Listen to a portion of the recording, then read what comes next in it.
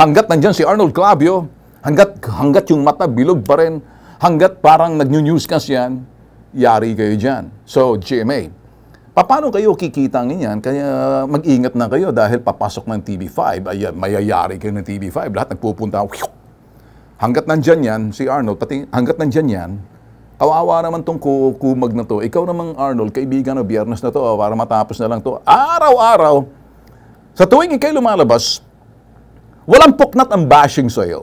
I don't know kung kang hanggang kailan mo talagang matitiis to.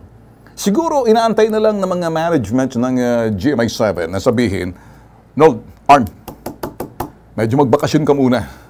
Pahinga ka muna. Eh, hindi mo ata nakikita. Voluntary ka na lang. Ah, ngayon, kung wala ka talagang yak balls na magsalita, eh, ganito, ganyan, na, alam mo, mm, nagkakamali tayo lahat. Gumagawa tayo ng kapalpakan. Arm, ano mo yan? Ang kinakailangan lang, mangumpisal at umamin tayo at magsisi tayo na hindi, move forward. Kasi hanggat may kasalanan ka pang hindi mo kinukumpisal at hindi mo pa rin, kung ikay katoliko, mangumpisal ka na. Aminin mo na ang pag-amin yan para naman bukal sa iyong kalooban nang sa ganon, eh, kilalanin mo lang ang iyong anak. Ganun lang kasimple. Kilalanin mo na ikay isang mabuting ama na hindi na uso ngayon yung illegitimate. Sa batas ng sa batas natin, wala nang illegitimate. Anak mo yan eh. Mahirap yung ganyan. Parang parang ewan ko kung saan ka kumukuha ng yagbos, eh, yagbos ng kumiki, kum, tibay ng sikmura. Ito ako ay tayo lang ang sekreto. Huwag niyo sasabihin. ah. Kahit na siguro yung mga co-anchors mo, parang ayaw sa'yo.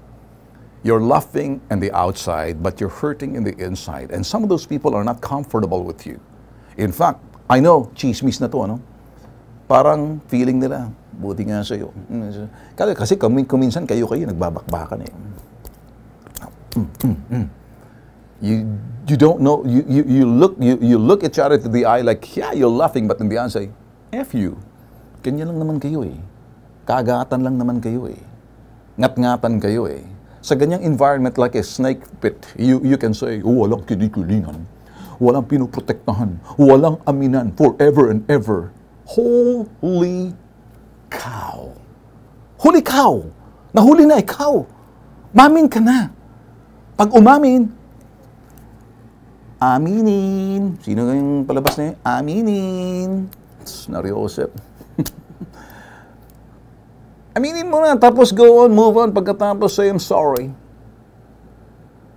It will give you good vibes. Mahirap yan eh.